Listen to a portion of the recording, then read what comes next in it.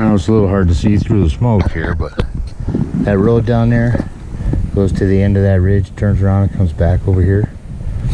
And about maybe a mile from where you can't see the road anymore is where I started. I'm that close to finishing. Like what? Eight miles, seven, eight miles.